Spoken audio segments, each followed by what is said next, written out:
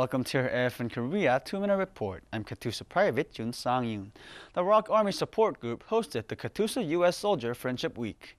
The annual event aims to promote friendship and cross-cultural understanding between the soldiers of two countries. Army Private Tyler Farris reports.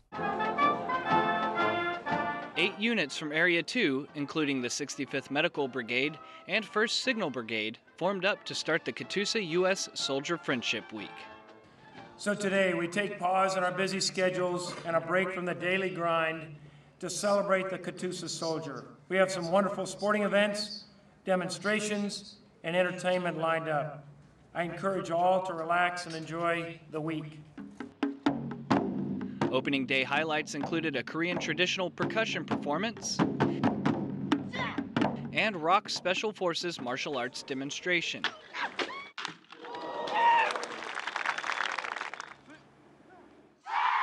Throughout the week, service members participated in various cultural events, including making kimchi and traditional rice cake.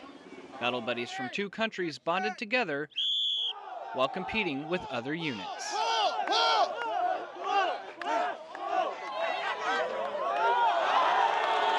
It's for both Katusas and US soldiers. By having uh, sports and by having fun, making Korean foods, and I, I think it's procedure of um, understanding each other's cultures by having fun. Soldiers also participated in a talent show where they showed off their singing and dancing skills. Army Private Tyler Farris, Seoul, Korea.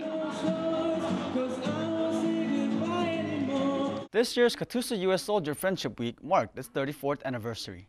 That was your two-minute report. I'm Katusa Private Jun Sang-yoon.